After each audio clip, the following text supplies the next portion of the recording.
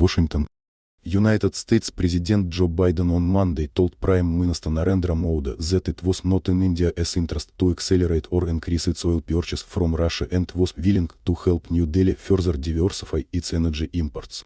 The White House said Biden made the remarks during a virtual meeting with Prime Minister Modi, which was constructive and productive, and their interaction was not adversarial, White House Press Secretary Jen Psaki told reporters. The virtual meeting between the two leaders came in the midst of some disquiet in Washington over India's position on the Ukraine crisis as well as its decision to procure discounted Russian oil. The Modi-Biden virtual meeting lasted for about an hour. This was a constructive call. It was a productive call. It is a relationship that is vitally important to the United States and to the President. I would not see it as an adversarial call, Psaki told reporters at her daily news conference soon after the conclusion of the Modi-Biden virtual bilateral. While the two leaders have met virtually multiple times and also in personal settings, this was for the first time that Biden and Modi had a virtual bilateral. During the meeting, Biden said that it is not in India's interest to accelerate or increase its oil imports from Russia.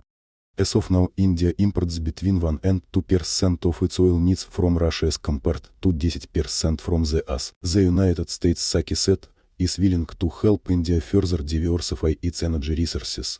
India buying oil and gas from Russia, she insisted, is not in violation of any sanctions, but I will let them speak for themselves, she said.